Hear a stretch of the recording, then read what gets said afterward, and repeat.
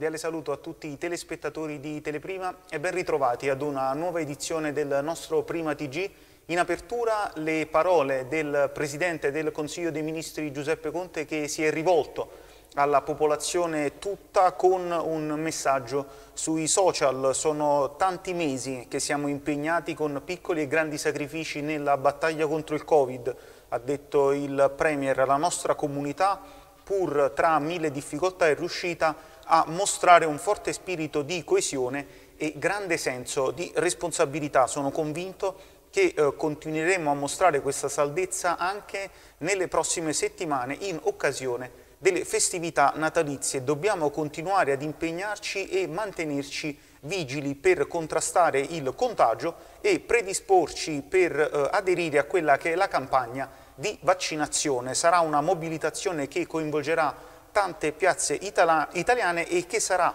eh, identificata con il simbolo della primola. Il fiore, il primo a sbocciare dopo un lungo inverno, ha detto il Premier, accompagnerà simbolicamente tutte le fasi della campagna verso quello che è un risveglio eh, graduale della nostra vita sociale. Questa volta la sua rinascita sarà anche la nostra.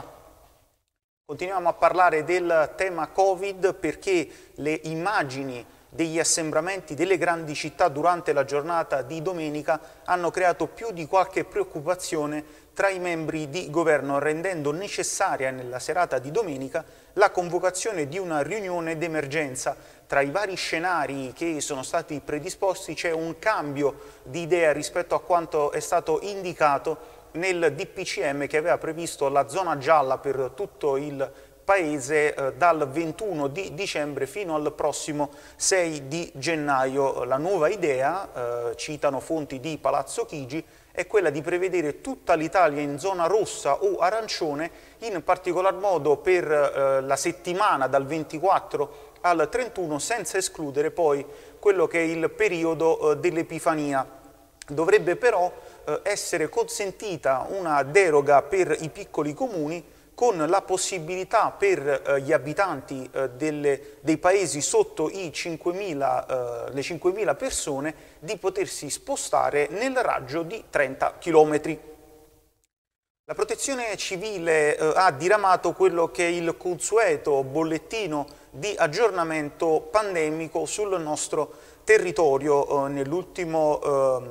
nell segnalazione si, ehm, si confermano il, si conferma il trend dei positivi eh, con 17.938 nuovi contagiati, 484 morti e 16.270 guariti. I tamponi processati eh, sono stati 152.697 per un tasso di positività in risalita rispetto ai giorni precedenti con l'11,7%. Importante però, come si diceva, la discesa eh, sia dei posti letto per quanto riguarda le terapie intensive con meno 41 eh, unità, sia quelle che è dei ricoveri ordinari con meno eh, 331 posti letto occupati. Ehm, per quanto riguarda invece l'unità di crisi della regione Campania eh, sono stati certificati 1219 nuovi positivi di cui 92 sintomatici a fronte di 17.319 tamponi processati. Anche qui il tasso è in continua discesa, eh, siamo arrivati al 7%, i guariti sono stati 2013 e i deceduti 35, di cui 15 eh, nelle ultime 48 ore e 20 in precedenza ma registrati soltanto ieri. Per quanto riguarda invece il report di posti letto a disposizione della Regione, su 656 posti di terapia intensiva eh, disponibili ne sono occupati 134, mentre invece su 3.160 posti eh, messi a disposizione tra strutture pubbliche e private ne sono occupati 1.804. Restiamo in Campania perché eh, nella serata di domenica il Presidente della Regione Vincenzo De Luca è intervenuto presso la eh, trasmissione Che tempo che fa in onda su Rai 3 condotta da eh, Fabio Fazio. Eh, ha iniziato il suo intervento il governatore parlando di linguaggio di verità, ovvero che eh, è difficile pensare di non poter vivere un Natale come tutti gli altri, ma un Natale normale eh, significherebbe aprire le terapie intensive e i cimiteri a metà gennaio. Il eh, governatore ha anche parlato di quello che è l'algoritmo utilizzato dall'esecutivo, da, da, fonti del governo per l'assegnazione dell'Italia nelle diverse eh, fasce di rischio, ha detto eh, si tratta di uno strumento inconoscibile, citando Kant, ci sono regioni del nord che eh, si trovano in fascia gialla con tassi di terapia intensiva e contagi più alti della Campania, stiamo parlando di una marchetta. Il Presidente ha anche detto che eh, si attende due settimane decisive perché senza rigore eh, ci sarà una terza ondata che eh, sarà ancora più eh, virulenta rispetto alle precedenti non solo per la riapertura delle scuole che ricordiamo fonti di governo prevedono per il prossimo 7 di gennaio ma anche perché a gennaio è atteso il picco dell'influenza. Eh, il Presidente ha, è contrario comunque alla riapertura della mobilità comunale ed è previsto per la Regione Campania i divieti che sono già stati indicati tra cui l'impossibilità di potersi spostare nelle seconde case nel periodo eh, natalizio. De Luca ha detto che eh, si attenderà un 20% di irresponsabili che eh, organizzeranno feste e cenoni con oltre 30 persone ed è un rischio che comunque la Regione Campania sa di eh, correre. Eh, per quanto riguarda invece i fondi del Recovery Fund, il Presidente De Luca ha detto che dovrebbero essere utilizzati questi eh, oltre 200 miliardi a disposizione dell'Italia per sburocratizzare il Paese e inoltre ha lanciato un allarme il Presidente perché i contributi a fondo perduto proprio del eh, Recovery Fund sono destinati in gran parte alle regioni del nord ed è eh, previsto un incontro tra i presidenti del meridione per cercare in qualche modo di capovolgere questa particolare eh, situazione. Ed è lo stesso presidente della regione che ha firmato l'ordinanza eh, con cui è stata prorogata la zona rossa per il campo Rom di Napoli, circunvallazione esterna. Eh, nel, eh, provvedimento prevede che per i cittadini che hanno residenza, dimora o domicilio eh, presso il campo è fatto obbligo di isolamento con divieto di allontanarsi dalle proprie abitazioni salvo quelle che sono eh, esigenze sanitarie o eh, legate all'acquisizione di beni di prima necessità. Potranno accedere eh, nel campo solo gli operatori sanitari e sociosanitari del personale eh, impegnato nei controlli e le attività di assistenza, solo per quelle che sono eh, le attività strettamente eh, legate a eh, queste eh, misure e le attività di pulizia e sanificazione ambientale. Il Comune di Napoli, d'intesa comunque con l'unità di crisi e la protezione civile, assicura ogni forma di assistenza ai cittadini del campo, anche attraverso la somministrazione di derrate alimentari e generi di prima necessità per tutta la durata del eh, presente provvedimento che, ricordiamo, eh, resterà in vigore almeno fino al prossimo 19 di dicembre. Eh, continuiamo a parlare di Napoli ma ci spostiamo in provincia, affrontiamo il tema della cultura con una scoperta particolare che eh, riguarda eh, Pompei perché si facevano risalire le origini di Pompei a Iosci, una popolazione del ceppo sannitico della Campania preromana ma in realtà eh, sarebbe avvenuta almeno 700 anni eh, prima con un mistero legato appunto alle origini che in realtà eh, sarebbe eh, stata un po' dissolta la nebbia sulla fondazione della storica eh, città eh, attraverso le ultime campagne di scavo che sono state avviate nel parco archeologico che è patrimonio dell'umanità. Ne ha parlato il direttore del parco Massimo Osanna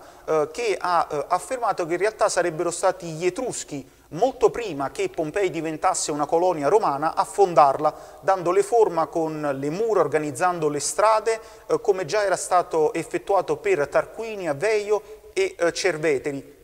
Dunque uomini etruschi avrebbero fondato i primi santuari a partire da quello fuori città che portava poi al porto di Stabie, uno snodo importante per i traffici eh, commerciali. Eh, a confermare diciamo, eh, questa che è l'ipotesi di fondazione etrusca, spiega Osanna, sono innanzitutto degli oggetti, eh, molte anfore, vasi e ampolle, tra cui 70 coppe con iscrizioni ritrovate nello scavo del santuario che è stato eh, costruito lungo la città che collegava eh, eh, il, che si collegava al mare, nonché una costruzione a pianta rettangolare in quello che si eh, identifica come fondo iozzino. Il tempio era stato individuato già negli anni 60 e scavato negli anni 90, ma i reperti più interessanti sono eh, emersi dallo scorso 2014, un ritrovamento, sottolinea il direttore, che fa di Pompei il luogo che ha restituito il maggior numero di iscrizioni etrusche fuori dall'Etruria, proprio perché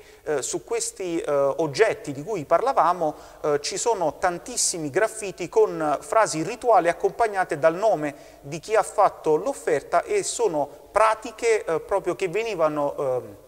effettuate dagli Etruschi e anche la divinità onorata eh, che eh, appare con il nome generico Apa sembra rimandare a, ehm, dire, a culture religiose etrusche, un'evidenza particolarmente eh, importante che in qualche modo potrebbe cambiare un po' quella che è sempre stata la storia di Pompei. Il tutto naturalmente fino a poi a quello che è stato l'anno tragico per la città, il 474, che ha causato un po' quella che è stata la fine della prima Pompei, non per colpa dell'eruzione del Vesuvio, bensì per le conseguenze di una storica battaglia navale, quella di Cuma, che i greci vinsero contro gli Etruschi e da, da quel momento Pompei è stata abbandonata eh, dal, prima dai propri cittadini, quando poi eh, arrivò l'eruzione del Vesuvio a cancellarla definitivamente.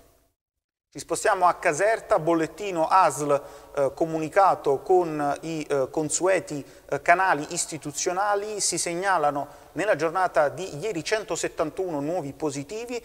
nonché 543 guariti e 3 deceduti. Il numero di tamponi processati è stato di 2.385 per un tasso di positività in continua discesa che si ferma al 7,1%. La città, tra tutti i 104 comuni della provincia che fa registrare il maggior numero di positivi è Aversa con 585, seguita da Marcianise con 568 e Caserta con 464. Chiudiamo con il calcio, il Napoli di Gattuso vince in rimonta contro la Sampdoria e si conferma al terzo posto in classifica insieme alla Juventus a meno 4 dalla vetta occupata dal Milan, bloccato in casa San Siro dal Parma il, con il risultato di 2 a 2 eh, allo stadio Diego Armando Maradona. A decidere la partita sono state le reti di, eh, dei subentrati Losano e Petagna che hanno risposto al gol iniziale della compagine ospite di Yankto. Eh, Gattuso a fine partita ha elogiato eh, i suoi giocatori, ha detto riprendere queste partite è particolarmente difficile, faccio i miei complimenti ai ragazzi, la Sampdoria è una squadra ben organizzata, eh, ha fatto un grande lavoro il tecnico Ranieri, nel primo tempo siamo stati sterili, ha detto il tecnico calabrese, abbiamo svoltato nella ripresa, Losano sta migliorando, sta lavorando molto sulla testa, ha detto il tecnico. Una sconfitta invece per la Casertana falcidiata dal coronavirus che ha colpito eh, sette tesserati della prima squadra. I Falchetti si sono comunque recati in trasferta a Palermo ma è arrivata una sconfitta al Barbera per 2-0. Sul punto ascoltiamo le parole del tecnico Guidi e dell'attaccante Castaldo. Sì, chiaramente abbiamo avuto dei giorni difficili, questo lo sapevamo, però purtroppo questa stagione è condizionata da, da questo maledetto virus che a questo, questo giro ci ha colpito in maniera tremenda perché insomma sette ragazzi poi all'ultimo secondo non è, non è, stato facile, non è stato facile assorbire il colpo, però detto questo eh, è stata una trasferta complicata, però ecco,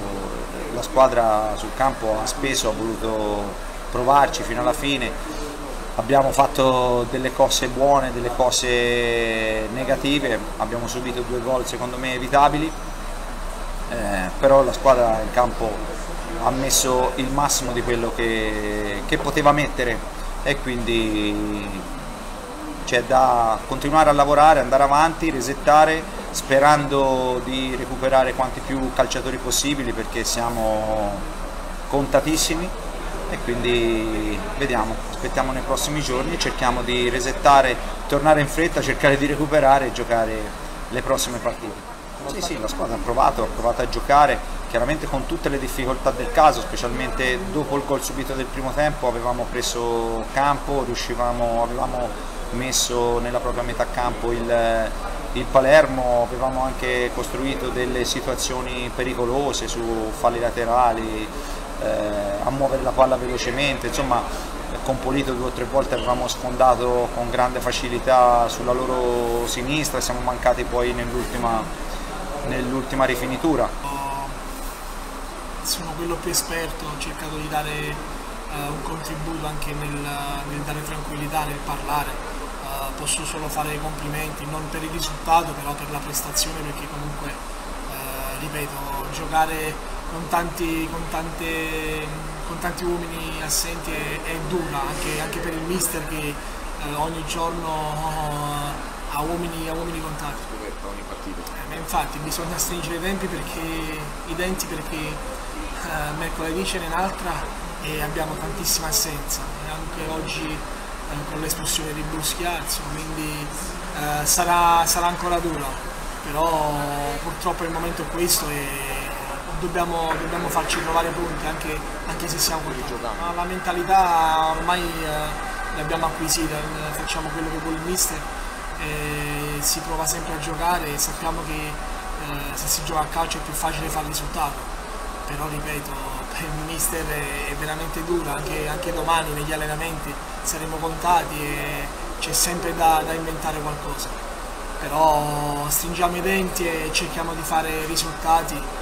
in queste tre partite che poi chiuderanno l'altro. Con il calcio chiudiamo questa edizione del nostro Prima TG, l'appuntamento con l'informazione di Teleprima ritorna ora nel pomeriggio, c'è l'edizione flash delle ore 18 da parte mia, grazie per averci seguito e arrivederci.